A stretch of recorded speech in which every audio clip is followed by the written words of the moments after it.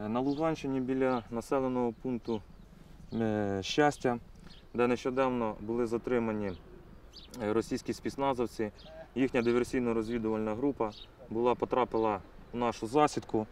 Три члени їхньої групи понесли різного ступеню поранення, а решта групи тікали з місця засідки і залишали за собою зразки різного виду озброєння. От на даний момент ви можете бачити декілька систем.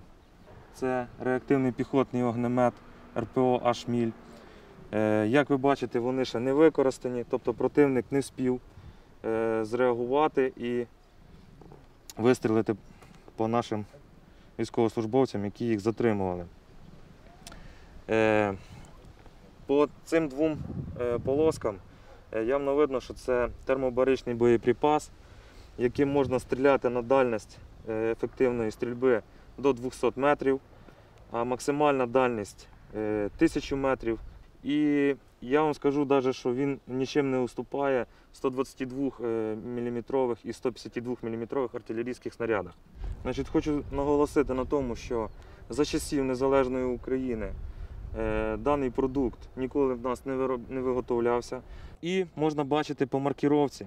Тобто це дата виготовлення, а це е, ци- цифри, які приналежать до партії та заводу виготовача.